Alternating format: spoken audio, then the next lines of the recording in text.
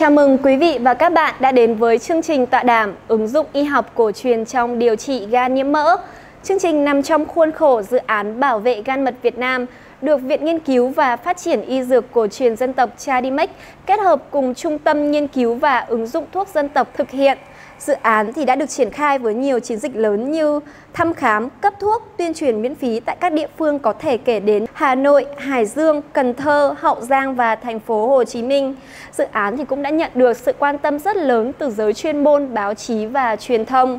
Và một trong những hoạt động được dự án chú trọng chính là buổi hội thảo, tọa đàm, trao đổi chuyên môn nhằm củng cố, nâng cao kiến thức trong nội bộ dự án, song song với chia sẻ kiến thức chính thống tới cộng đồng. Chương trình tọa đàm ứng dụng y học cổ truyền trong điều trị gan nhiễm mỡ hôm nay được thực hiện và phát sóng trực tiếp trên các kênh thông tin truyền thông chính thống của dự án bảo vệ gan mật Việt Nam. Dạ vâng, kính thưa quý vị và các bạn, đến tham dự với chương trình tọa đàm hôm nay, chúng tôi xin trân trọng giới thiệu sự hiện diện của các vị khách mời là các chuyên gia y học cổ truyền đầu ngành.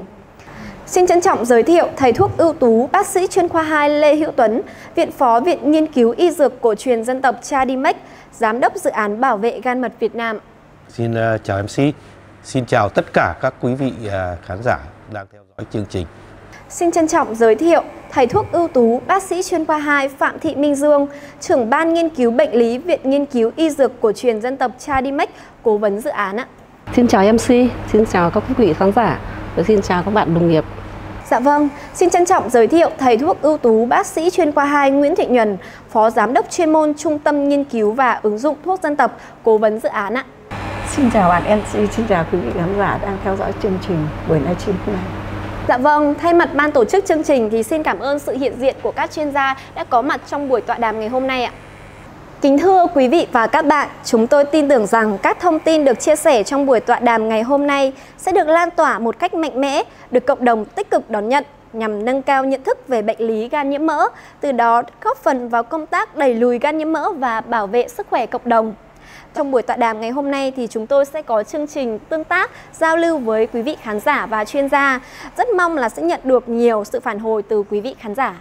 Gan là một cơ can vô cùng quan trọng đối với sức khỏe, chi phối rất nhiều hoạt động trong cơ thể. Là gan liên tục phải hoạt động ở cường độ cao với hơn 500 chức năng khác nhau. Quan trọng nhất chính là thải độc. Do vậy, một khi là gan bị tổn thương thì sẽ ảnh hưởng rất nghiêm trọng đối với sức khỏe. À, hiện nay thì sức khỏe là gan tại Việt Nam thì đang là vấn đề rất đáng lo ngại. Đặc biệt là tình trạng gan nhiễm mỡ khi có đến 25 triệu người Việt đang mắc căn bệnh này. Nguyên nhân lớn thì sẽ đến từ thói quen sinh hoạt và ăn uống không lành mạnh. Ban tổ chức chương trình thì cũng có thực hiện một video cảnh báo về thực trạng gan nhiễm mỡ hiện nay. Xin kính mời quý vị khán giả và các chuyên gia cùng theo dõi ạ.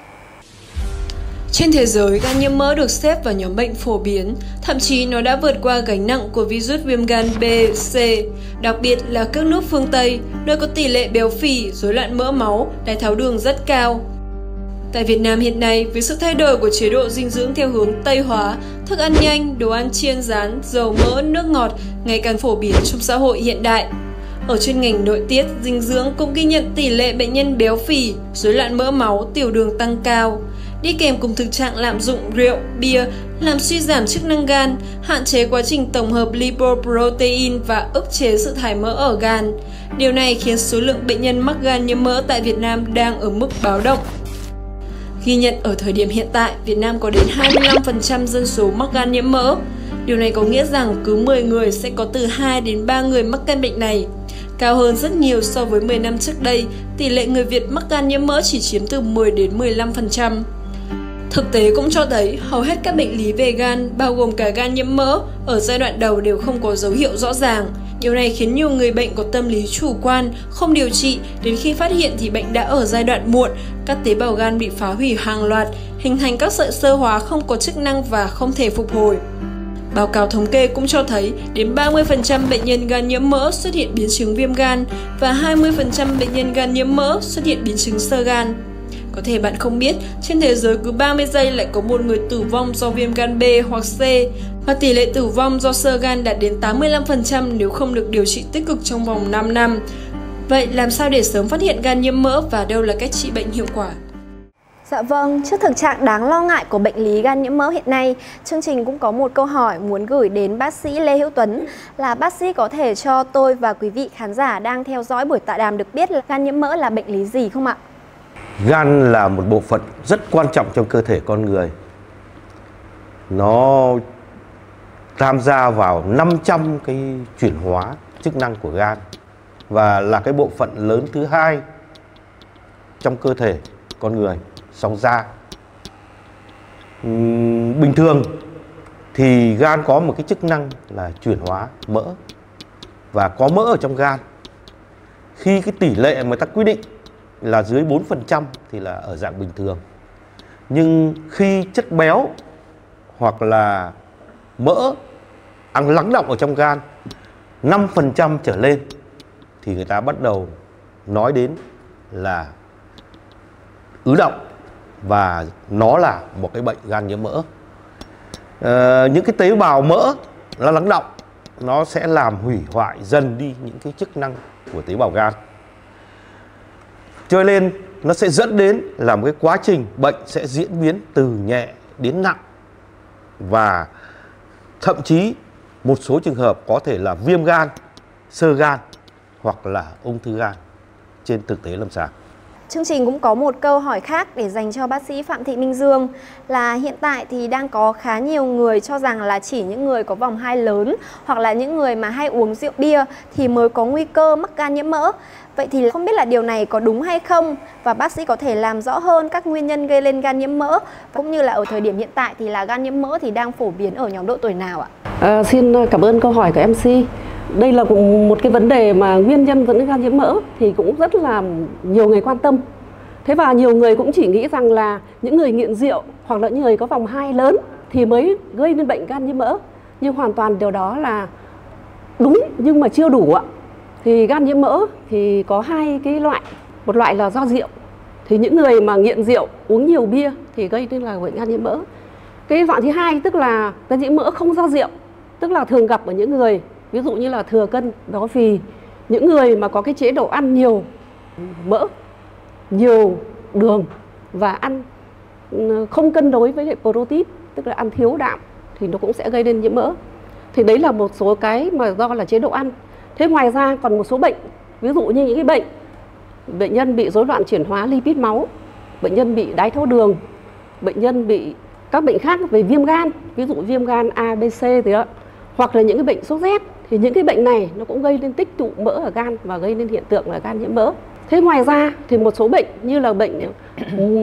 suy dinh dưỡng, những người suy dinh nó nặng thì cái loại thiếu protein thì cũng gây nên một tình trạng là tích mỡ như là triglycerid ở trong gan nên là gây nên hiện tượng là gan nhiễm mỡ. Thế thì về cái tỷ lệ mà mắc bệnh gan nhiễm mỡ thì là cũng rất là cao trong người dân Việt Nam và nhân dân thế giới. Thế còn độ tuổi thì chủ yếu là ở cái độ tuổi uh, trung niên, ở cái độ tuổi là từ 40 cho đến 55 tuổi. Thế nhưng mà ngoài ra thì cái, những cái độ tuổi khác cũng vẫn gặp cái gan nhiễm mỡ. Ví dụ như là các trường hợp gan nhiễm mỡ ở trẻ em. Thì những trường hợp gan nhiễm mỡ ở trẻ em thì chủ yếu là do cái chế độ ăn uống. Hiện tại bây giờ là chúng ta có cái chế độ ăn uống rất là không hợp lý đối với các cháu. Và những người cao tuổi thì cũng dẫn lại cũng bị gan nhiễm mỡ thì ở những người cao tuổi ấy, thì gan nhiễm mỡ thường thường là do là bệnh gan mỡ nó tích ở gan lâu ngày và sau đó nó dẫn đến gan nhiễm mỡ cái thứ hai cũng là do rối loạn của các chức năng của cơ quan tạng phủ ví dụ như là can thận Ờ, một số bệnh khác thì nó cũng gây lên cái hiện tượng gan nhiễm mỡ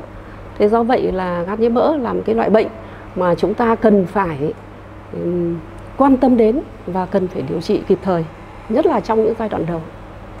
và như những chia sẻ vừa rồi của hai bác sĩ thì là đã giúp cho tôi và quý vị khán giả hiểu thêm về gan nhiễm mỡ là gì và nguyên nhân gây lên gan nhiễm mỡ. Dạ vâng, thưa quý vị khán giả, thì trước khi thực hiện buổi tọa đàm ngày hôm nay thì chương trình cũng có tiến hành một vài khảo sát về nhận thức của người dân về bệnh lý gan nhiễm mỡ hiện nay. Với 1.056 phiếu khảo sát được gửi đi và 1.038 phiếu khảo sát hợp lệ thu về, kết quả cho thấy là 83% người được hỏi cho biết rằng là không lo ngại và không chủ động phòng ngừa gan nhiễm mỡ. Chỉ có 17% người được hỏi thì chủ động phòng ngừa gan nhiễm mỡ Bên cạnh đó thì cũng có là 68% người được hỏi cho rằng là gan nhiễm mỡ là bệnh lành tính và không cần phải tích cực điều trị. Trong đó thì cũng có 32% người được hỏi thì cho biết rằng là gan nhiễm mỡ thì cần phải tích cực điều trị. Từ đây thì có thể thấy rằng là đa phần người dân Việt Nam hiện nay thì đang nhận định rằng gan nhiễm mỡ là bệnh lành tính, vì vậy là vẫn còn tâm lý chủ quan, không điều trị À, chương trình cũng xin hỏi bác sĩ Nguyễn Thị Nhuần có thể cho MC và quý vị khán giả được biết nhận định của bác sĩ về cái đánh giá này như thế nào và nếu mà là cần phải điều trị tích cực thì bác sĩ có thể cho biết thêm là biến chứng của bệnh có thể gặp phải nếu mà khi người bệnh bị gan nhiễm mỡ mà không tiến hành điều trị là như nào không ạ? À, gan nhiễm mỡ uh, trong cái cái xu thế uh, giai đoạn hiện nay thì là cũng như là à, tình hình bệnh tật hiện nay phức tạp hiện nay thì gan nhiễm mỡ cái tỷ lệ bệnh nhân mắc rất là nhiều. Nhưng là vì là cái giai đoạn đầu bệnh nhân không phát hiện ra và hai là không chú ý đến cái tình trạng nhiễm mỡ của mình và cái điều kiện sống bây giờ nó cũng rất là là là có nhiều yếu tố để gây ra gan nhiễm mỡ. Điều kiện sống à, ăn thức ăn nhanh rồi uh, uống rượu bia nhiều rồi ờ, một số bệnh nền bây giờ cũng rất là nhiều và thừa cân béo phì bây giờ cũng rất nhiều. Và những cái bệnh bệnh nền như là, hai bác sĩ đã vừa nêu lên những nguyên nhân của cái uh, gan nhiễm mỡ. Thì nếu chúng ta phân tích ra thì nói rằng là gan nhiễm mỡ nó là một bệnh lành tính đúng không ạ? À, bạn MC có hỏi tôi như thế. Ở đây thì có hai khía cạnh tôi xin phân tích hai khía cạnh. Khía cạnh đầu tiên nếu chúng ta nói là gan nhiễm mỡ là một bệnh lành tính ở giai đoạn đầu thì tôi đồng ý. Nhưng nếu để gan nhiễm mỡ trong một thời gian dài không à, chú ý điều trị không tuân thủ của các điều trị tư vấn của bác sĩ sau một thời gian dài nó sẽ đầu tiên cái ở cái giai đoạn 1 ấy, là gan nhiễm mỡ độ 1 thì nó chưa có tổn thương tế bào gan mà nó có chỉ có nắng động mỡ. Ờ, ở những cái bề mặt của tế bào gan. Và hoàn toàn gan lúc này chức năng gan chưa có tổn thương gì cả. Nhưng nếu ở giai đoạn này chúng ta phát hiện ra chúng ta điều trị à, cái thứ nhất là về chỉ cần chúng ta có cái chế độ sinh hoạt khoa học về chế độ ăn uống à, cũng như là nguyên nhân là các bác sĩ đã vừa nói chúng ta có một cái chế độ của sinh hoạt khoa học về chế độ ăn uống và khi chúng ta phát hiện ra là gan nhiễm mỡ giai đoạn đầu, thì chúng ta có thể kiêng những cái à, thức ăn có nhiều mỡ động vật, những thức ăn à, thịt đỏ, tạng phủ. Hay là chúng ta phát hiện, kiểm tra sức khỏe, chúng ta phát hiện những một số bệnh nền. Và ví dụ như là bệnh đái đường, là những cái bệnh rối loạn chuyển hóa, hay là rối loạn à, lipid máu khi chúng ta xét nghiệm chúng ta sẽ phát hiện ra những cái bệnh nền và chúng ta sẽ điều trị những cái nguyên nhân của những cái bệnh ấy. Thì sau này thì uh, tôi tin rằng các gan nhiễm mỡ giai đoạn 1 nó chưa có tổn thương gan. Thì kết quả điều trị và tuân thủ theo ý kiến của bác sĩ thì trăm phần trăm là khỏi. Không những kết hợp thêm uh, chế độ ăn rồi chế độ tập luyện rồi chế độ uh, điều trị các bệnh nền và nhất là những à, người có những cái viêm gan do virus nhưng nó ở cái thể ẩn thể tức là người lành mang trùng và khi chúng ta làm xét nghiệm kiểm tra định kỳ chúng ta phát hiện ra và chúng ta tuân thủ điều trị và tư vấn của bác sĩ thì tôi tin rằng cái gan nhiễm mỡ giai đoạn 1 nó sẽ là một bệnh khỏi hoàn toàn và là một bệnh lành tính. Còn nếu chúng ta lơ là không quan tâm đến sức khỏe không theo dõi và không có kiểm tra định kỳ. Và như thế thì uh, trong quá trình một thời gian dài là cái gan nhiễm mỡ nó sẽ làm ảnh hưởng. Thứ nhất nó đã ảnh hưởng đến ờ, cái uh, uh, tế bào gan tổn thương tế bào gan. Và tổn, tổn thương tế bào gan thì chắc chắn là sẽ gây ra cái tăng men gan và dần dần nó gây đến viêm gan mãn suy gan. Và nếu những trường hợp mà bị viêm gan do virus à, BC khi mà cơ thể yếu thì cái con virus này nó hoạt động và nó gây ra làm cho cái chức năng gan suy gan và gây ra sơ gan. Và sơ gan ở đây thì nó sẽ gây ra à, trong những trường hợp mà viêm gan B C nó sẽ gây ra ung thư gan ung thư hóa trên cái à, cái cái cái, cái gan sơ vân vân. Và nó có rất là nhiều cái à, hiện cái cái cái cái kết quả không mong muốn và nó làm cho uh, người mà bị uh, gan nhiễm mỡ sang giai đoạn 2, 3, uh, 4 là nó sẽ có tổn thương gan và nó sẽ gây ra hậu quả khôn lường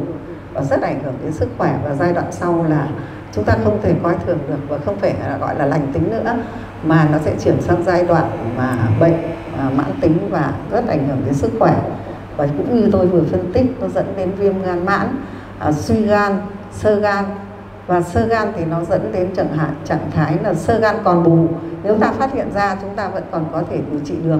Nhưng nếu sơ gan mất bù thì hiệu quả nó rất nguy hiểm đến tính mạng. Và đây nó là một trong những uh, uh, cái biến chứng uh, nguy hiểm đối với những người có cái uh, uh, gan nhiễm mỡ ở các giai đoạn uh, tiếp theo 2, 3, 4 không được điều trị kịp thời thì uh, theo tôi thì uh, chúng ta nên kiểm tra sức khỏe thường quy và để chúng ta phát hiện là ra để uh, chúng ta có những cái được các bác sĩ tư vấn và chúng ta điều trị trong giai đoạn đầu có hiệu quả và chúng ta có một cái sức khỏe tốt. Còn nếu mà chúng ta lơ là là chúng ta sẽ có những cái biến chứng khôn lường. Theo tôi là như thế. Thì mong là sau buổi tọa đàm hôm nay à, quý vị khán giả cũng à, nên hiểu như chúng ta đi kiểm tra định kỳ để chúng ta phát hiện ra. Và sẽ được các bác sĩ nên được các bác sĩ tư vấn và điều trị ngay từ đầu. Và trong đấy thì à, giai đoạn đầu điều trị chúng ta có thể tin tưởng được điều trị khỏi trăm phần trăm và bệnh nhân trở lại sức khỏe bình thường. Dạ vâng, xin cảm ơn các chia sẻ của bác sĩ Nguyễn Thị Nhuần. Và từ những chia sẻ của bác sĩ Nguyễn Thị Nhuần thì chúng ta có thể hiểu rõ được là tầm quan trọng của việc phát hiện sớm gan nhiễm mỡ và có phương pháp điều trị gan nhiễm mỡ một cách tích cực và quay trở lại với chủ đề chính của buổi tọa đàm ngày hôm nay là ứng dụng y học cổ truyền trong điều trị gan nhiễm mỡ. Thì chương trình cũng xin phép được hỏi bác sĩ Lê Hữu Tuấn thêm một câu đó là uh, bác sĩ có thể cho biết là trong y học cổ truyền gan nhiễm mỡ thì sẽ được xếp vào thể bệnh gì và phương pháp và cách thức điều trị gan nhiễm mỡ trong y học cổ truyền như thế nào được không ạ? Trong y học cổ truyền thì không có tên bệnh là gan nhiễm mỡ mà người ta xếp vào cái phạm vi được gọi là tùy theo giai đoạn của bệnh. Như ờ, phân tích trên của bác sĩ Dương ấy, cũng như của bác sĩ Nhuần ấy, thì nó do rất nhiều nguyên nhân. Mà các nguyên nhân thì nó sẽ tác động vào cái ờ, cơ quan là gan. Và ở các giai đoạn khác nhau trên là tùy theo giai đoạn và tùy theo biểu hiện bệnh lý thì trong y học cổ truyền người ta sẽ gọi như thế này nó xếp vào phạm vi nhẹ nhất là hung hiếp thống tức là tức hạ sườn hai là người ta có thể xếp vào nặng hơn nữa là tích tụ rồi là tích trệ tức là lúc ấy gan to ra. Rồi à, nhiều trường hợp mà bắt đầu vàng da vàng mắt thì nó xếp vào âm hoàng hoặc dương hoàng. Như vậy thì đấy là cái phạm vi để mà tương ứng với cái gan nhiễm mỡ bên tây y ấy, thì y học cổ truyền rất rộng trong phạm vi như tôi nói là tùy theo giai đoạn tùy theo biểu hiện của bệnh thì sẽ có một cái tên gọi tương ứng với nhau. Thế còn về nguyên nhân theo y học cổ truyền thì người ta vẫn nói đến yếu tố là nội nhân hoặc là ngoại nhân. Nội nội nhân ví dụ như là do chuyển hóa trong cơ thể, nè, đúng không ạ? Như bác sĩ dương phân tích một số cái đấy rối rối loạn mỡ máu, tiểu đường. Còn ngoại nhân thì người ta nói đến những cái yếu tố bên ngoài, lục dâm đưa vào. Thì nó cũng tương ứng như là bác sĩ dương đã nói ví dụ như là có thể là chế độ uh, uh, như là bên ngoài đưa vào ăn nhiều quá oh, rồi là lười vận động đấy, rồi là uh, tuổi tác vân vân. Tức là những cái tác động nó đưa vào rất nhiều. Thậm chí là như lúc nãy tôi thấy bác sĩ Dương nói rất sâu về một số cái nguyên nhân mà rất hay gặp. Ví dụ như là những cái ngộ độc gây ra cái nhiễm mỡ toxic đấy thế rồi đặc biệt là tôi đã gặp rất nhiều trường hợp dùng thuốc thuốc. Ví dụ như ngày xưa dùng aspirin nhiều nhá. Thế rồi ờ, một số phụ nữ mà mổ cái ung thư vú ấy, dùng tamoxifen rồi uh, dùng cortisone đặc biệt cortisone kéo dài thì cũng là dẫn đến cái bệnh đấy. Đã. do vậy là như như vậy là rất rất rất nhiều nguyên nhân. Nhưng y học cổ truyền xếp như thế nội nhân ngoại nhân và bất nội ngoại nhân. Thế về cái tổn thương của tạng thì người ta hay nói đến là cái cơ quan bị tổn thương ấy, là cái định danh, là cái đầu tiên là tạng can bị tổn thương. Sau đó đến tạng tỳ và cuối cùng là tạng thận. Thì tương ứng như lúc đầu ấy là can can bị tổn thương như bác sĩ nhuần trao đổi, tức là cái giai đoạn đầu bệnh nó nhẹ thôi không? Thế nhưng dần dần nó sẽ nặng lên, nó sẽ tổn thương đến tỳ, ví dụ như là không ăn uống được, rồi là chán ăn rồi mệt mỏi, đúng không? thế cuối cùng đến thận là gì là ví dụ bụng cổ trướng này, rồi phù chân này, vân vân không? rất phù hợp giữa cái y học cổ truyền và y học hiện đại thì người ta xếp vào như vậy bác sĩ ra ạ thế còn à, phạm vi điều trị thì cũng rất rộng tức là tùy theo cái giai đoạn bệnh, thì trên lâm sàng người thầy thuốc y học cổ truyền, người ta sẽ vọng văn vấn thiết và người ta đưa ra cái lý pháp phương dược thì sẽ có cái phương điều trị để cho phù hợp với lại từng cái bệnh. Ví dụ như giai đoạn đầu thì cá nốt tí hư thì người ta dùng sơ can phải không ạ? Đúng không các bác sĩ? Thế rồi ờ, dần dần ví dụ mà người ta dùng tỳ hư thấp nhiệt thì người ta dùng long đờm giả can thang hoặc đại tần giao than à, ờ, nặng hơn nữa là tỳ thận dương hư rồi. À, thì người ta dùng những cái bài phù hợp vào chân vũ đúng không? khi phù chân rồi à, rất rất nhiều cái thể trạng mà người ta sẽ áp dụng rất linh hoạt trong y học cổ truyền. Mục đích cuối cùng là gì? Mục đích cuối cùng là cân bằng âm dương, tức là chữa một số cái triệu chứng, tức là chứng hậu, và những cái tạng phủ được bồi phủ lại như can, tỳ thận để lập lại cái chữa bệnh. Tôi cho đây là một cái cách chữa bệnh rất khoa học, rất ừ, có lý luận và rất có hiệu quả trong thực tế điều trị bằng y học cổ truyền đối với những cái chứng bệnh ở trên mà tương đương với lại gọi là cái thoái hóa mỡ trong cái bệnh của Tây y. Dạ vâng, xin cảm ơn những chia sẻ của bác sĩ Lê Hữu Tuấn. Và như bác sĩ Lê Hữu Tuấn cũng như là các bác sĩ vừa chia sẻ thì gan nhiễm mỡ thì nó có nhiều giai đoạn khác nhau và cũng là đi từ nhiều các nguyên nhân khác nhau ấy. Chương trình cũng có một câu hỏi để dành cho bác sĩ Phạm Thị Minh Dương rằng là khi mà gan nhiễm mỡ đến từ ờ, có nhiều cái mức độ khác nhau như vậy, y học cổ truyền có thể can thiệp được vào những cái giai đoạn nào ạ? Vâng, thế thì để điều trị gan nhiễm mỡ thì chúng ta cũng cần như là các bác sĩ đã nói chúng ta cần phải biết được là các giai đoạn của gan nhiễm mỡ thế nào. Thế thì về các giai đoạn của gan nhiễm mỡ thì tôi cũng xin nói lại sơ qua. Tức là giai đoạn đầu ấy giai đoạn một ấy thì tức là nó rất là âm thầm nó diễn biến từ từ và thường thường người ta không có không có triệu chứng và người chứng mình không nhận ra bệnh nhân không nhận ra mình bị gan nhiễm mỡ giai đoạn đầu và thường là sau khi đi siêu âm hoặc đi xét nghiệm thì các ừ, tỷ lệ về mỡ ở trong gan nó cao trong vòng từ 10 đến 20% thì lúc đấy là biểu hiện của gan nhiễm mỡ độ 1. Thế giai đoạn sau tức là giai đoạn 2 thì là lúc đấy mới bắt đầu biểu hiện suy giảm của chức năng gan. Thì trong đó thì bệnh nhân đấy cảm giác như là mệt mỏi, cảm giác như là vòng hai của mình to ra, tức là bụng to ra đấy. Thế rồi là ừ, ờ, cảm giác ăn thì có vẻ kém đi. Thì lúc đấy là biểu hiện của cái chức năng gan đã bị suy giảm và tỷ lệ mỡ ở trong gan ấy, thì nó cao lên độ khoảng từ 10 đến 20 phần trăm. Thì đấy là giai đoạn 2 nhưng nếu mà chúng ta không điều trị kịp thời thì nó cũng sẽ tiến triển lên giai đoạn 3 thì giai đoạn 3 là cái giai đoạn mà chức năng của gan đã suy giảm rất là nặng rồi. Lúc đấy bệnh nhân có biểu hiện là mệt mỏi này ăn kém này vàng da này vàng mắt này hoặc là nặng hơn là sạm da này đau bụng đau vùng gan và rối loạn tiêu hóa buồn nôn và nôn. Thì những cái giai đoạn này là hoặc là có biểu hiện của suy gan như là bác sĩ Nhuần đã nói và suy gan giai đoạn đầu thì còn bù giai đoạn sau thì mất bù và thậm chí là có thể dẫn đến ung thư gan. Thế thì về cái vấn đề điều trị thì là nguyên tắc của chúng ta là phải phát triển uh, phát hiện ra bệnh càng sớm càng tốt và điều trị trong giai đoạn 1 là tốt nhất. Và sau đó là đến giai đoạn 2 là chúng ta cố gắng điều trị thế nhưng mà đến giai đoạn 3 thì không phải là chúng ta không điều trị và chúng ta vẫn phải điều trị nhưng mà phải kết hợp nhiều phương pháp. Thì trong đó thì có thể là chúng ta phải kết hợp thêm y học hiện đại với y học cổ truyền trong điều trị. Thế thì ờ, như bạn có nói là ờ, điều trị tốt nhất là trong giai đoạn nào, đúng không ạ? Thế thì về theo như tôi thì tôi thấy là trong y học cổ truyền chúng ta thì chúng ta điều trị tốt nhất là trong giai đoạn 1 và giai đoạn 2 thì chúng ta có rất nhiều vị thuốc vị thuốc nam ạ, thì có tác dụng ở về chữa về bệnh gan ví dụ như là nó có tác dụng lợi tiểu này rồi uh, uh, sơ can lý khí này uh, kiện tỳ um, rồi bổ gan thận thì đấy là những cái những cái phương pháp hoặc là những cái vị thuốc mà chúng ta hay dùng để điều trị về bệnh gan nhiễm mỡ. Nếu như mà chúng ta mà chữa sớm thì là tỷ lệ thì nó sẽ tốt hơn. Nhưng mà cùng với lại cái công tác là dùng thuốc thì chúng ta phải thay đổi chế độ ăn uống nhất là những người mà nghiện rượu thì cần phải bỏ rượu và chúng ta những người bị bệnh thì coi như không chơi không uống rượu nữa không uống bia nữa và chúng ta phải có cái chế độ ăn uống phù hợp về mặt à, dinh dưỡng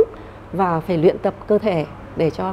ừ, giúp cho cái quá trình mà tiêu ừ, hao mỡ ừ, và nhất là mỡ ứ động ở gan. Dạ vâng, xin cảm ơn các chia sẻ của bác sĩ Phạm Thị Minh Dương. Như vậy có thể thấy rằng là y học cổ truyền đem lại hiệu quả rất cao trong điều trị gan nhiễm mỡ và song song với việc điều trị thì chúng ta nên kết hợp thay đổi lối sống, thay đổi chế độ dinh dưỡng để giúp là đem lại hiệu quả tích cực hơn trong điều trị. Ngoài ra thì cũng sẽ giúp là đem lại hiệu quả trong uh, cải thiện hệ tiêu hóa cũng như là bảo vệ sức khỏe. Kính thưa quý vị và các bạn, thì như đầu chương trình chúng tôi có chia sẻ buổi tọa đàm ứng dụng y học cổ truyền trong điều trị gan nhiễm mỡ hôm nay nằm trong khuôn khổ dự án bảo vệ gan mật Việt Nam được Viện Nghiên cứu và Phát triển Y dược cổ truyền dân tộc Chadimex kết hợp cùng với cả Trung tâm Nghiên cứu và ứng dụng thuốc dân tộc thực hiện. Đây là dự án trọng điểm của viện trong năm 2024. Dự án thì hướng đến mục tiêu là nâng cao nhận thức của người dân về các bệnh lý gan, song song với điều trị và giúp đỡ bảo vệ sức khỏe người dân. Với một dự án mà đem lại một cái ờ, lợi ích cộng đồng cao như vậy thì à, xin hỏi thầy thuốc Lê Hữu Tuấn có thể cho MC và quý vị khán giả được biết thêm thông tin về dự án này không ạ? Trung tâm nghiên cứu và ứng dụng thuốc dân tộc đã có cái bài thuốc Bảo Nam X can than điều trị rất có hiệu quả đối với lại nhiều bệnh nhân trong và ngoài nước và ở rất nhiều cái dạng phân loại theo y học cổ truyền hoặc là những cái nguyên nhân theo y học hiện đại. Uhm, những cái phân loại theo y học hiện đại như một là cái gan thoái hóa mỡ do rượu rất hiệu quả. Trên thực tế lâm sàng điều trị những bệnh nhân sau khi nghiện rượu, uống rất nhiều hàng ngày và những bệnh nhân thường nghiện rượu thì lại ít ăn. Khi đến trung tâm chữa và ứng dụng thuốc, đồng thời là ngừng uống rượu và cải thiện về chế độ ăn thì gần như hầu bệnh nhân trở lại cái chức năng của cái gan rất tốt. Nhưng còn cái dạng thứ hai là thoái hóa, gan thoái hóa mỡ không phải do rượu thì cái dạng ấy khó hơn một chút. Nhưng không phải là không có kết quả. Một số bệnh nhân là cái tỷ lệ virus phát triển trong viêm gan B sau khi dùng thì đã có tác dụng giảm được cái tỷ lệ virus xuống ngưỡng mức gọi là cái ngưỡng mức gây bệnh. Và một số trường hợp khác ví dụ như những cái u gan trong máu hoặc là những cái sơ gan đều có cải thiện rất nhiều trong thực tế điều trị. À, dựa trên cái kết quả là thực tế như vậy, thì trung tâm kết hợp với viện nghiên cứu và phát triển y dược cổ truyền để đưa ra một cái dự án. Bởi vì tại sao? Lý do thứ nhất là như mọi người biết trên truyền thông, cũng như là cái khảo sát của trung tâm là cái tỷ lệ bệnh lý về gan nhiễm mỡ rất là rất là nhiều. Thứ hai là bài thuốc trên thực tế đã có tác dụng chữa bệnh ở rất nhiều cái dạng bệnh mà theo y lý của y học cổ truyền cũng như là theo những nguyên nhân mà các bác sĩ đã phân tích vừa rồi thì là có hiệu quả. Thứ ba là trên cái đội ngũ, trên cái nền của viện là có những nhà khoa học, có kiến thức nhưng có kinh nghiệm trong điều trị và đã được nghiên cứu nhiều cái đề tài, nhiều cái dự án phát triển, có hiệu quả và rất nhiều điều kiện khác để ủng hộ những cái vấn đề này. Và người dân cũng rất là mong muốn. Do vậy là trung tâm cùng với viện kết hợp cái dự án này ấp ủ từ những cái thực tế điều trị, từ những cái thực tế về điều kiện, trang thiết bị, đội ngũ làm khoa học thì nâng lên một tầm, tức là đưa lên thành cái dự án. Và cái dự án này thì bước đầu đã được triển khai ở một số thành phố như ờ, Hà Nội, như thành phố Hồ Chí Minh, như Cần Thơ, như Hậu Giang, rồi à, à còn Hải Dương nữa. Bước đầu đã mang lại được những cái kết quả mà những kết quả này là bằng những bằng chứng y học bằng thực tế điều trị trên lâm sàng và bằng chứng nữa là không thể chối cãi được đó là những kết quả xét nghiệm về các chức năng của gan cũng như là các nguyên nhân gây ra bệnh gan. Do vậy là cái đề án này sẽ tiếp tục được nghiên cứu và tiếp tục được phát triển. Mong muốn làm sao ngày và ngày kéo ra, rộng ra cho cộng đồng được hưởng thụ, hưởng lợi từ cái dự án này. Dạ vâng, xin cảm ơn các chia sẻ của thầy thuốc Lưu Hữu Tuấn. Có thể thấy rằng là bài thuốc Bảo Nam X can thang thì đem lại hiệu quả rất cao trong điều trị gan nhiễm mỡ và đã được uh, chứng minh bằng uh, các số liệu thực tế tại trung tâm. Hiện tại thì uh, dự án bảo vệ gan mật Việt Nam cũng đang thực hiện chương trình hỗ trợ tư vấn miễn phí cho người bệnh. Quý độc giả có quan tâm đến chương trình thì cũng có thể uh, liên hệ theo số điện thoại là 093 206 4179. Và vâng, với một bài thuốc mà đem lại hiệu quả cao như vậy thì chắc chắn là quý vị khán giả thì đang rất quan tâm đến thông tin bài thuốc. Xin hỏi uh, bác sĩ Nguyễn Thị Nhuần có thể cho MC và quý vị khán giả được biết thêm thông tin chi tiết về thành phần và cách thức điều trị của bài thuốc Bảo Nam Icantha được không ạ? Xin mời bác sĩ ạ. Cũng như uh, chương trình chúng ta vừa các bác sĩ đã vừa phân tích và dự án uh, điều trị gan nhiễm mỡ của trung tâm dân tộc kết hợp cùng với là viện nghiên cứu uh, dân tộc. Thì uh, ở đây thì uh, chúng ta về thuốc y học cổ truyền ấy bài thuốc uh, uh, bảo nam ít can thang thì trong bài thuốc này thành phần uh, nó gồm hơn 30 uh, vị thuốc. Thế thì uh, uh, để phân tích cái tác dụng trên 20 uh, vị thuốc trên 30 vị thuốc thì chúng tôi phân tích bài thuốc này nó là bài thuốc trước nó là bài thuốc thang nhưng bài thuốc chúng tôi sẽ phân ra các nhóm điều trị để khi à, chúng tôi khám bệnh nhân và chúng tôi sẽ lựa chọn các nhóm để phù hợp với từng bệnh nhân một có kết hợp các nhóm để điều trị. À, trong à, bài thuốc ấy thì à, những vị thuốc chính đầu tiên chủ dược vẫn là nấm linh chi cỏ tháp bút à, à, cây bò khai à, cây à, cà gai leo. Và một số, số vị thuốc nữa thì chúng tôi xếp vào nhóm. Ở đây thì là, là thuốc nó là hơn 30 vị thuốc cho nên chúng tôi uh, xếp vào nhóm. Cái thứ nhất là nhóm tiêu đàm trừ thấp. Cái thứ hai là nhóm thanh nhiệt giải độc thanh nhiệt uh, tiêu viêm thanh nhiệt uh, à, hoạt huyết và thanh nhiệt à, tiêu ứ. Và cái thứ ba tức là cái nhóm mà chủ đạo nhất ấy, là cùng có à, nấm linh chi và cây à, cỏ tháp bút. À, riêng nấm linh chi thì đã có rất nhiều đề tài nghiên cứu của thế giới và cũng như của trong nước. Tác dụng của nấm linh chi rất tốt nó vừa có kiện tỳ trừ thấp. Như chúng ta đã biết là trong cái gan nhiễm mỡ thì là cái mỡ nó thừa nhiều ở gan và nó gây tác dụng là hủy hoại tế bào gan. Cho nên là vấn đề và làm sao để trong nấm linh chi có thành phần để nó làm cho tăng cường chuyển hóa cái à, rốn à, cái cái lipid máu và nó tiêu những cái mỡ thứ trong gan, làm cho thúc đẩy cái quá trình mà ờ, mỡ ở gan nó tiêu đi và làm cho giải phóng cái cái cái uh, cái mỡ ở gan làm cho cái người ta nói là uh, trong uh, y học cổ truyền người ta nói là um, mỡ máu nó là do cái đàm thấp và cái trứng đông y thì người ta không gọi là mỡ máu mà người ta gọi là gọi là trứng đàm thấp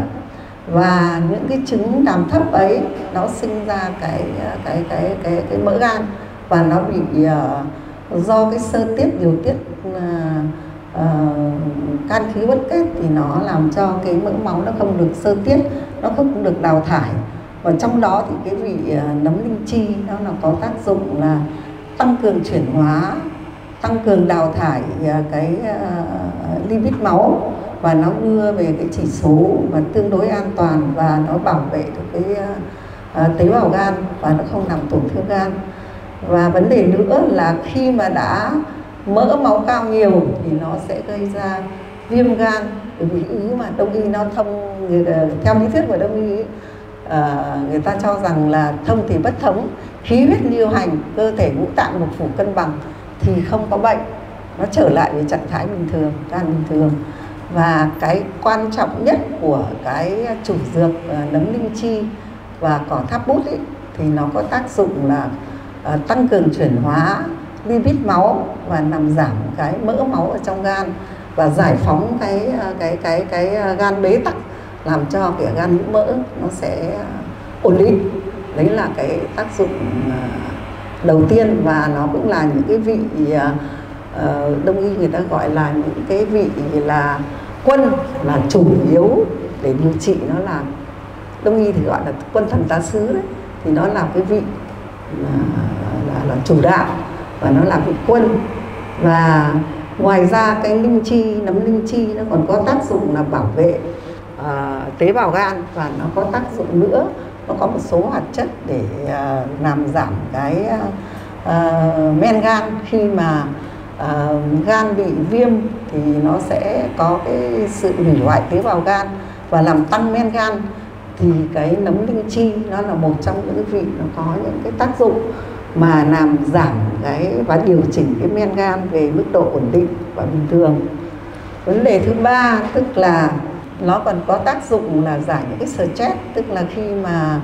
uh, can khí uất kết thì nó làm cho kiểu như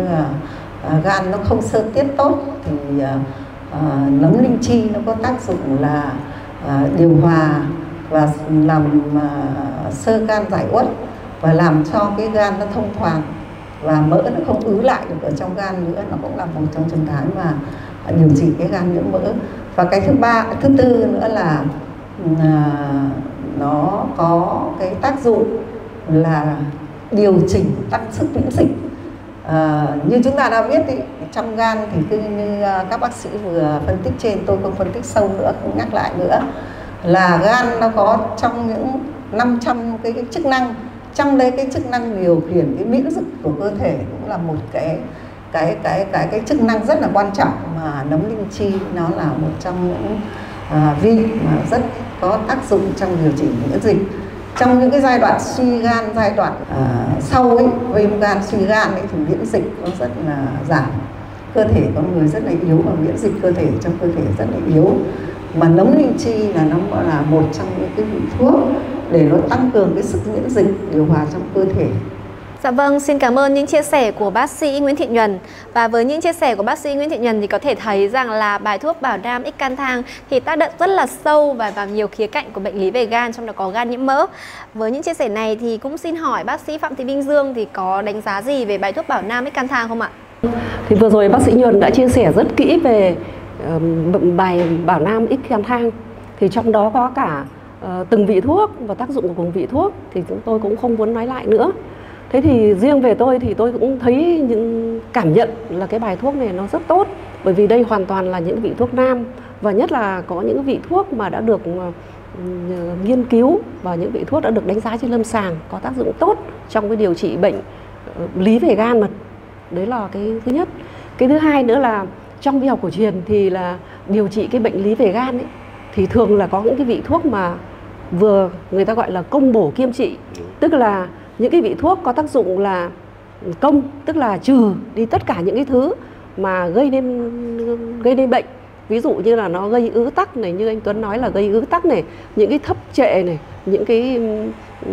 ứ trệ về khí huyết, đàm ẩm ở trong cơ thể thì mình phải dùng thuốc công. Thế thì cái thuốc công theo như ở trong cái bài này vị chị nhuần vừa phân tích thì tôi thấy rằng những cái vị đấy nó có tác dụng là nó sẽ hạ mỡ máu, nó giảm cái sự tích tụ mỡ máu ở trong gan thì đấy là những cái vị thuốc rất là tốt ở trong cái bài về cái bài bảo nam x can thang. Thì cái vị thứ hai tức là cái vị bổ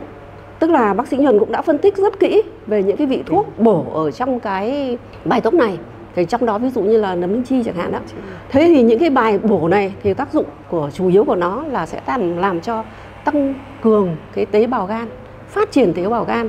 và hạn chế cái sự suy suy tế bào gan và hạn chế cái sự thoái hóa mỡ ở trong tế bào gan. Thế thì tôi thấy là bài thuốc này nó có hai cái ưu điểm như thế. Thì rất là tốt trên lâm sàng và ứng dụng cho những bệnh nhân mà điều trị về cái bệnh lý về gan mật nói chung và cái bệnh nhân về gan, mỡ, máu nói riêng. Dạ vâng, xin cảm ơn những chia sẻ của bác sĩ Phạm Thị Minh Dương. Có thể thấy rằng là dưới góc độ y học thì bài thuốc bảo nam ích can thang thì đem lại hiệu quả rất cao trong điều trị gan nhiễm mỡ. Thay mặt quý vị khán giả thì chương trình cũng gửi lời cảm ơn đến Viện Nghiên cứu và Phát triển Y Dược Cổ truyền Dân tộc cùng Trung tâm Nghiên cứu và Ứng dụng Thuốc Dân tộc đã nghiên cứu và phát triển một bài thuốc đem lại hiệu quả rất cao trong điều trị, góp phần vào bảo vệ sức khỏe cộng đồng. Chương trình cũng nhận được thông tin rằng Bài thuốc bảo nam ích can thang và dự án bảo vệ gan mật Việt Nam thì đã được đưa vào thực thi một thời gian rồi. Không biết rằng là trong thời gian tới, bài thuốc cũng như là dự án thì có gì đổi mới hay không và trong thời gian thực thi thì cũng có gặp phải khó khăn gì hay không ạ? Mời à, bác sĩ à, Lê Hiệu Tuấn có thể giúp chương trình trả lời câu hỏi này được không ạ? Tất nhiên là từ lý thuyết đến thực hành thì nó có khoảng cách mà cái thực hành là cái kết quả, là cái thước đo để đánh giá rằng cái hiệu quả của bài thuốc như thế nào thì ở trên các bác sĩ cũng đã phân tích rồi về y lý, y thuật, điều trị và cái hiệu quả mang lại cho cộng đồng. Nhưng tất nhiên trong quá trình điều trị thì tôi xin chia sẻ một điều như thế này. Thứ nhất là nguồn gốc của bài Bảo Nam Ít Can Khang, Ít Can Thang ấy là từ cái bài của Hòa Can Lý Khí của đại danh y Hải Thượng Lãn đông và lấy cái can huyết là bổ. Đồng thời trong cái bài thuốc này là như bác sĩ Minh Dương đã nói, nguyên tắc của y học cổ truyền là cái gì? Là công bổ kiêm trị, tức là chữa bệnh là phải có tấn công vào tà, nhưng đồng thời phải nâng cao cái chính khí, tức là nâng cao cái cái gọi là cái sức khỏe của con người, cái miễn dịch của con người. Nhưng cái, một cái quan trọng nữa, một cái nguyên tắc là tiêu bản hoãn cấp. Trong cái chữa bệnh của y học cổ truyền, tức là có cái phải chữa vào gốc bệnh nhưng nhiều lúc cũng phải chữa vào cái ngọn bệnh để cho người bệnh có một cái thoải mái trong sinh hoạt hàng ngày. À, cũng chia sẻ một cái điều là thế này này. Những cái tài liệu mà tôi đọc hiện nay thì đến hiện nay ngoài những cái thuốc mà chúng ta quen gọi là bổ gan chữa vào những cái viêm gan như Silimatech và Fortech còn các nhà khoa học đến hiện nay là người ta nói rằng chưa có một cái thuốc nào chữa về bệnh thoái hóa à xin lỗi, bệnh gan nhiễm mỡ là được công nhận và vẫn là đang trong giai đoạn nghiên cứu. Thì như vậy rõ ràng là chữa bằng phương pháp của Tây y là hiện nay là chưa có một ý kiến gì được công nhận. Nhưng dựa trên bài thuốc mà của đại danh y kết hợp với cái y lý và cái biện chứng của y học cổ truyền vừa dựa trên cái nguyên tắc điều trị thì thấy rằng trong quá trình điều trị tuy đã có hiệu quả, đúc rút từ kinh nghiệm từ những cái bệnh nhân trong quá trình điều trị. Bởi vì chúng ta phải hiểu một điều như thế này, không có chữa bệnh mà chữa người bệnh, chứ không có chữa bệnh. Thứ hai là trong chữa bệnh là cá thể hóa điều trị. Có phải không các bác sĩ? Là cá thể hóa điều trị. Do vậy là chữa những bệnh nhân đấy thì chúng ta phải có chữa vào người bệnh cụ thể và cá thể hóa điều trị. Thì trong quá trình những cái bài thuốc trên nguyên tắc và đã chữa như vậy thì sẽ có cái phân tích tiếp theo và có những cái nghiên cứu tiếp theo để có thể phù hợp hơn với lại đa dạng hơn. Bởi vì như các bác sĩ đã phân tích, bác sĩ Dương, bác sĩ Nhuần đã phân tích, nguyên nhân có rất nhiều, đúng không ạ? Trong cái do rượu thì tôi không nói, nhưng trong cái không do rượu, không do rượu còn một cái dạng tức là đơn thuần không nói. Nhưng cái dạng thứ hai rất nguy hiểm, nó là viêm. Mà viêm thì rất rất rất nhiều nguyên nhân đưa đến mà các bác sĩ đã nêu ở trên do vậy, bài thuốc để ứng dụng cá thể hóa điều trị thì chúng tôi càng cần phải có những đúc kết, cần cả phải có những cái tổng kết, cần phải có những cái hội thảo và đồng thời tiếp tục để có những cái nghiên cứu để ra được những cái sản phẩm nó phong phú hơn trong quá trình điều trị. Còn trong nghiên cứu khoa học cũng như trong thực hành không có cái gì là dễ cả. Đấy là cái khó khăn. Bởi vì rằng cái điều kiện thì có thể điều kiện để nghiên cứu sâu thì còn hạn chế lắm ở Việt Nam mình còn rất hạn chế thế rồi những cái kinh phí phải bỏ ra nghiên cứu khá nhiều và những cái dược liệu chúng tôi tìm là những dược liệu trên rừng dược liệu sạch. Do vậy để phân tích từng dược liệu và tổng hợp lại theo y lý thành một bài thuốc là một cái quá trình. Đây khó khăn này là khó khăn về những cái mà có thể là vượt qua được. Nhưng cái sung sướng nhất đối với chúng tôi là được cộng đồng tin cậy, được cộng đồng đón nhận thì đấy là cái nguồn động viên cho chúng tôi vượt qua cái khó khăn để tiếp tục nghiên cứu và tiếp tục được những cái sản phẩm phù hợp đối với từng thể loại của người bệnh. Dạ vâng, xin cảm ơn những chia sẻ của bác sĩ Lê Hữu Tuấn, bác sĩ Phạm Thị Minh Dương và bác sĩ Nguyễn Thị Nhuần. Kính thưa quý vị và các bạn, ngay từ đầu chương trình thì MC có chia sẻ buổi tọa đàm sẽ có chuyên mục tương tác trả lời câu hỏi giữa chuyên gia và quý vị khán giả. Và đây chính là thời điểm để chúng tôi thực hiện chuyên mục này. Nếu quý vị khán giả nào chưa gửi các câu hỏi liên quan đến chủ đề gan nhiễm mỡ đến cho chương trình thì hãy nhanh tay gửi đến số điện thoại để ở góc màn hình để chuyên gia có thể giải đáp mọi thắc mắc của quý vị. Và đến với câu hỏi đầu tiên của khán giả Nguyễn Thị Thanh Hiền, 56 tuổi, đến từ Hà Nội. Khán giả có đặt câu hỏi rằng là Chào bác sĩ, tôi mắc gan nhiễm mỡ từ năm 2016 Đã dùng thuốc điều trị chuyên khoa và bệnh thì có thuyên giảm Tuy nhiên thì tôi liên tục phải dùng thuốc Gần đây thì tôi có bị viêm lết dạ dày Bác sĩ có thể tư vấn giúp tôi có nên dừng thuốc Tây và chuyển sang y học cổ truyền được không? Và với câu hỏi này thì xin phép nhờ bác sĩ Phạm Thị Minh Dương có thể giúp chương trình trả lời được không ạ? Xin mời bác sĩ ạ. Vâng, chị Hiền đặt ra câu hỏi này cũng rất là trùng với nhiều ý kiến của các bệnh nhân khác. Thế thì chúng ta biết rằng là chúng ta cái bệnh gan nhiễm mỡ thì chúng ta có thể là về y học cổ hiện đại thì hiện tại là không có thuốc điều trị. Thế còn về rối loạn chuyển hóa mỡ thì chúng ta cũng có rất là nhiều thuốc Tây y để điều trị cái bệnh là rối loạn ừ, chuyển hóa lipid máu. Thế thì tôi cũng không rõ là chị Hiền dùng cái loại thuốc gì và đã dùng bao nhiêu lâu và Ờ, bác sĩ người ta nói là người bệnh đã đỡ đã thuyên giảm thế nhưng mà tôi cũng không rõ được là uh, chị dùng thuốc đấy là cái loại loại hoa cái loại thuốc chất gì? gì thuốc gì thế nên là cũng xin được là một là chị cho rõ xem là cái thuốc mà chị đã dùng là thuốc gì. Cái thứ hai nữa là chị nói là lâu nhưng mà cái thời gian là bao lâu. Mà cái thứ ba nữa là chị nói là chị chỉ có bị bệnh ờ, đại tràng thôi à, bệnh dạ dày thôi rối loạn à, về hội chứng dạ dày. Thế nhưng mà chị đã làm thêm các xét nghiệm về chức năng gan chưa? Bởi vì cái thuốc mỡ máu ấy thường thường điều trị mỡ máu ấy, thường là nó gây ảnh hưởng rất nặng nề đến là uh, chức năng gan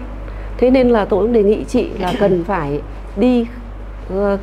làm một số cái xét nghiệm cận lâm sàng siêu âm này xét nghiệm máu và cái cần thiết nhất nữa là chị cũng tham khảo lại cái ý, ý kiến của bác sĩ uh, Tây y đang điều trị cho chị. Thế còn uh, qua cái buổi tọa đàm hôm nay thì tôi thấy là cái thuốc y học cổ truyền thì có tác dụng rất tốt đối với bệnh nhân là rối loạn chuyển hóa mỡ máu. Nên là nếu như mà chị có điều kiện thì chị đến trung tâm của chúng tôi. Chúng tôi sẽ thăm khám cho chị cụ thể và có bài thuốc rất là hữu ích cho chị. Xin trân trọng cảm ơn. Dạ vâng, xin cảm ơn câu trả lời của bác sĩ Phạm Thị Minh Dương. Có thể là câu hỏi của Chị Nguyễn Thị Thanh Hiền tại Hà Nội thì vẫn còn thiếu khá nhiều thông tin. Thì chương trình sẽ hỗ trợ chị Hiền có thể liên hệ thêm với bác sĩ để được tư vấn chi tiết nhất ạ. Câu hỏi tiếp theo đến từ khán giả Huỳnh Văn Nam 48 tuổi sống tại Vũng Tàu. Và khán giả thì có đặt câu hỏi rằng Bác sĩ cho tôi hỏi tôi bị gan nhiễm mỡ S4 có kèm tình trạng viêm gan, nguyên nhân chủ yếu là do rượu.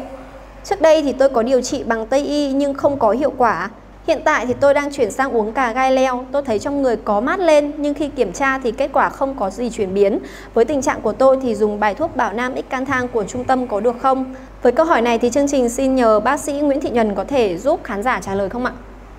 À, xin chào bạn Nam. Trong trường hợp của bạn thì à, bạn có nói rằng là bạn à, tôi à, nghe không rõ lắm nhưng mà nghe là bạn là hay uống rượu. Cái thứ nhất. Cái thứ hai là bạn đã bị gan nhiễm mỡ và viêm gan từ nhiều năm và đã điều trị đông y và tây y, cũng điều trị tây y và điều trị đông y một thời gian cũng khá dài nhưng mà ở đây thì tôi chỉ có một điểm là tôi không biết là bạn bảo là không đỡ. Tức là đây là à, nếu theo cái à, cái cái cái, cái giai đoạn nhiễm mỡ độ 4 ấy và lại có viêm gan mà lại có à, giai đoạn 4 này thì cũng là bệnh cũng tương đối nặng đúng không? Và đã điều trị tây y cũng không đỡ. Và bạn chuyển sang điều trị đông y và và để chuyển sang điều trị cái cà gai leo đúng không? Tôi à, thấy là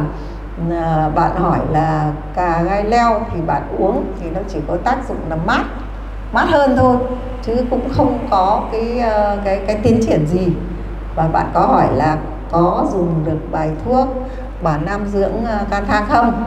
Thì uh, tôi xin uh, xin xin xin trả lời như này. Trong trường hợp của bạn là một bạn là hiện nay cái cái cái cái cái, cái nhiễm mỡ của gan của bạn trong cái giai đoạn là 4 là có tổn thương gan nặng và ở đây tôi không biết là bạn à, về những cái à, chỉ số và à, về xét nghiệm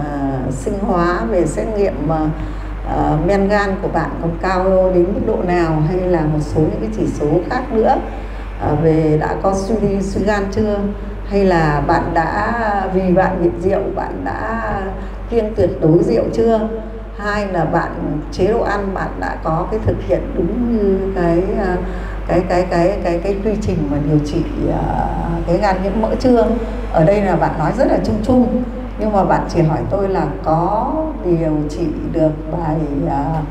bảo uh, gan giận diễn can thang không? Thì tôi uh, xin khuyên bạn với cái những cái uh,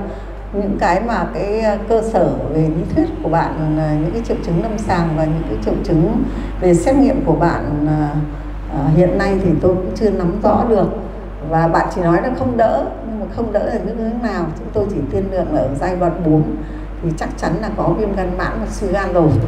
Đấy và và bạn thấy là bạn điều trị cả đông tây y mà không khỏi. Và lại điều trị có mỗi cái cả gai lem không thì tôi nghĩ là chắc chắn là kết quả nó sẽ không theo ý muốn được. Và tôi khuyên bạn là nên nếu bạn có điều kiện bạn hãy đến trung tâm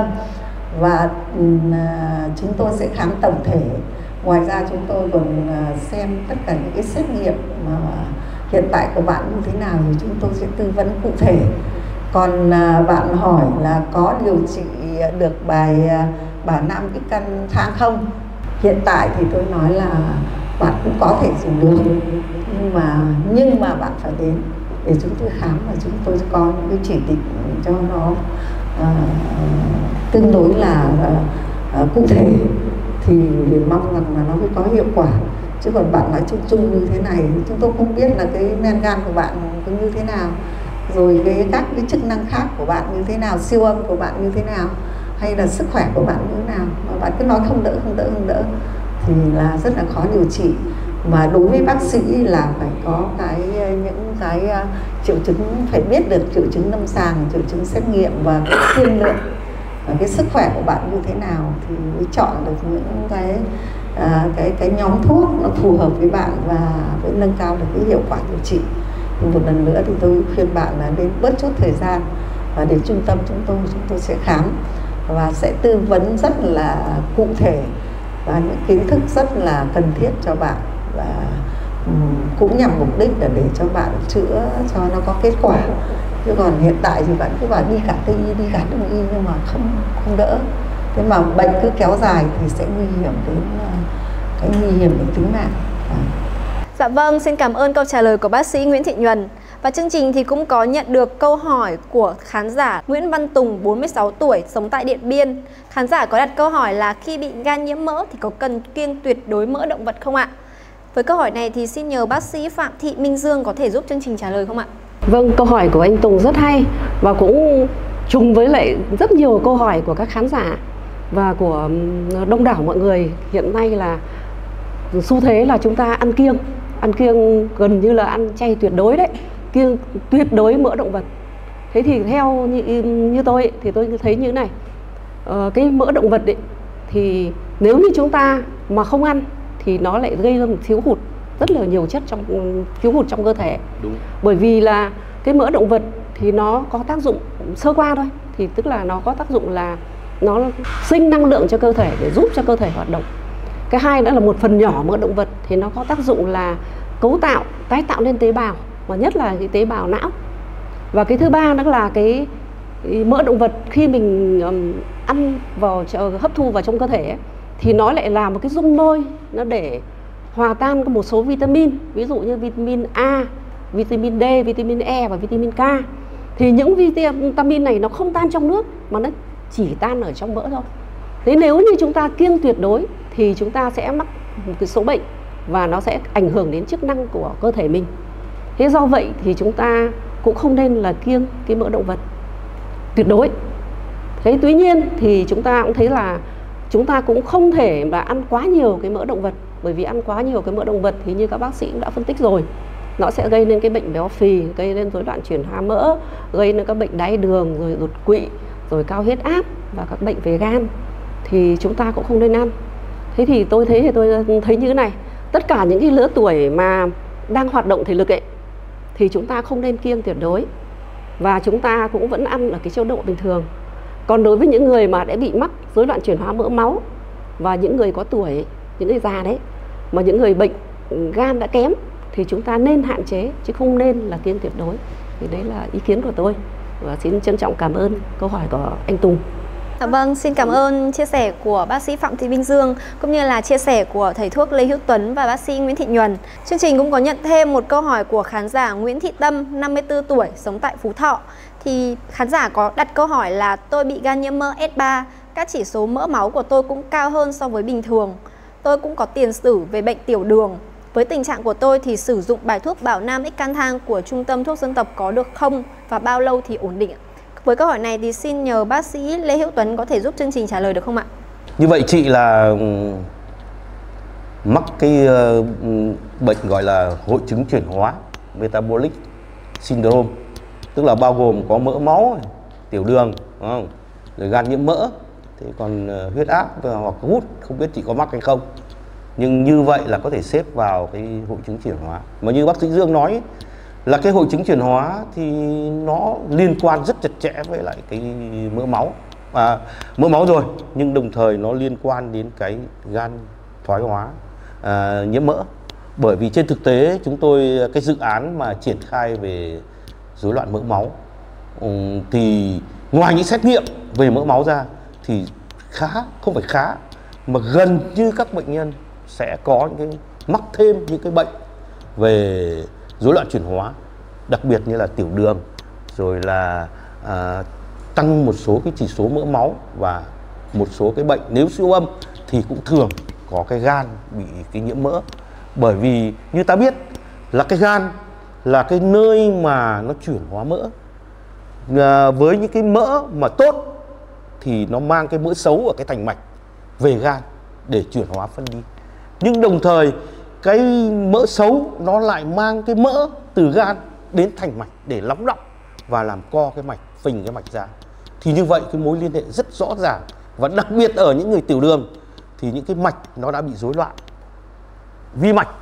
Bác sĩ dương có thấy vấn đề đấy không ạ? Vì nó rối loạn vi mạch cho nên là nó rất liên quan chặt chẽ luôn giữa cái nhóm bệnh như vậy. Thế thì như vậy, ở chị nói rằng ở S3 như bác sĩ Dương đã phân tích thì nó có suy gan rồi. Nhưng để đánh giá mức độ suy gan thì có rất nhiều cái chỉ số để phải đưa ra. Bằng bằng chứng, gọi là y học thực chứng, không thể nói được bằng cảm tính được là mặc dù hôm nay chị không đưa những thông tin, nhưng tôi sẽ cố gắng cung cấp để chị có thêm những cái mà sau này chị sẽ gửi về cho chúng tôi. Ví dụ, trong viêm gan thì đã sơ gan chưa? Thì người ta phải dựa vào những cái yếu tố, ví dụ như là gan, viêm gan thì người ta là một là những chỉ tiêu về mặt sinh hóa, hai là về thay đổi cấu trúc gan ờ, rồi tăng tính mạch cửa. Thế thì thì chỉ dựa vào những cái xét nghiệm sinh hóa, đồng thời là người ta phải siêu âm gan để đánh giá cái mức độ ừ, cái mức độ của gan thoái hóa mỡ đến mức độ như thế nào? Và đồng thời là thậm chí nhiều trường hợp nữa người ta phải làm dùng cái gọi là siêu âm fibroscan để đánh giá rằng mức độ sơ hóa gan đến mức độ nào thì mới đánh giá được. Thế thì như vậy ấy, là những cái tiêu chí mà đưa ra của chị thì chị nói rằng uh, chúng tôi chỉ có thể nói được rằng có một cái liên quan như vậy. Và bài thuốc của chúng tôi thì như trên phân tích là nhóm đây là chữa không chỉ không chỉ về cái mỡ thoái hóa gan nhiễm mỡ, mà trong những trường hợp viêm gan hoặc suy gan. Nhưng suy gan của chị viêm gan này thì xếp vào cái nhóm mà gọi là không phải do rượu, đúng không ạ? Thì cái mà không phải là đơn thuần nữa, mà có viêm rồi, thì như vậy là tương đối là nặng. Thì trong cái bài thuốc này của chúng tôi để điều trị như trên đã phân tích là phải có bằng chứng của y học. Chị có thể cung cấp cho chúng tôi thêm một số thông tin về xét nghiệm sinh hóa một số xét nghiệm về siêu âm một số có thể nếu fibroscan nữa thì càng tốt. Thì chúng tôi sẽ có cái chỉ định cho chị trong những cái nhóm thuốc của Bảo Nam Icantha, Icantang là có những nhóm chữa chữa vào cái nhóm bệnh và phù hợp với người bệnh, tức là lấy người bệnh làm tiêu chí. Nhưng tuy nhiên là phải căn cứ người bệnh là gì là chữa vào người bệnh chứ không chữa bệnh như tôi đã nhấn mạnh, cũng như là cá thể hóa trong điều trị, thì cái kết quả điều trị chắc chắn sẽ tốt. Và chúng tôi có thể khẳng định với chị rằng bài thuốc của chúng tôi trong phạm vi nhất định sẽ chữa được một số cái nguyên nhân hạn chế, được một số cái triệu chứng và đặc biệt nó sẽ có chức năng bảo vệ tế bào can à, tế bào gan. Như cái bài thuốc ban đầu tôi đã nói cơ sở của nó là bài hòa can ích khí đúng chị? Lý khí của bài thượng lãn ông. Và trên cơ sở của bài thuốc đấy thì nó có công bổ kim trị. Như vậy thì rất cảm ơn câu hỏi của chị nhưng chị sẽ cho thêm thông tin thì chị sẽ có lời tư vấn chắc chắn là đầy đủ hơn và à, đáp ứng được những cái mong mỏi của chị và thầy thuốc cũng sẽ có những cái phác đồ điều trị phù hợp hơn cá thể hóa điều trị đối với chị xin cảm ơn chúc chị khỏe Dạ vâng, xin cảm ơn những chia sẻ của bác sĩ Lê Hữu Tuấn, bác sĩ Phạm Thị Bình Dương và bác sĩ Nguyễn Thị Ngân đã giúp chương trình có thể trả lời các câu hỏi của quý vị khán giả. Nếu quý vị khán giả nào vẫn chưa gửi câu hỏi hoặc có những thắc mắc liên quan đến vấn đề gan nhiễm mỡ thì có thể liên hệ đến số điện thoại 093 206 4179 để được các chuyên gia hỗ trợ. Xin cảm ơn quý vị khán giả đang theo dõi chương trình tọa đàm ngày hôm nay. Xin kính chào và hẹn gặp lại quý vị khán giả trong các buổi tọa đàm tiếp theo ạ.